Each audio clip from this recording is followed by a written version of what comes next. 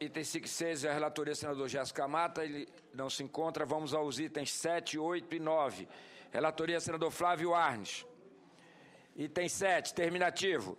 Projeto de Decreto Legislativo 419 de 2010 aprova o ato que otorga autorização à Associação Cultural Abatiaense para executar serviço de radiodifusão comunitária na cidade de Abatiá, Estado do Paraná.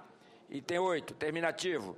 Projeto de Decreto Legislativo 423 de 2010. Aprovado que outorga a permissão à Moriá FM Limitada para explorar serviço de radiodifusão sonora em frequência modulada na cidade de Floraí, Estado do Paraná.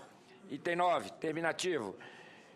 Projeto de Decreto Legislativo 424 de 2010. Aprovado que outorga a permissão à Rádio Brasil Sul FM Limitada para explorar serviço de radiodifusão sonora em frequência modulada na cidade de Santa Maria, no Estado do Paraná. Com a palavra, o nosso senador, vice-governador do Estado do Paraná, senador Flávio Arnes. Senhor presidente, os relatórios dos três itens lidos são favoráveis. Tá.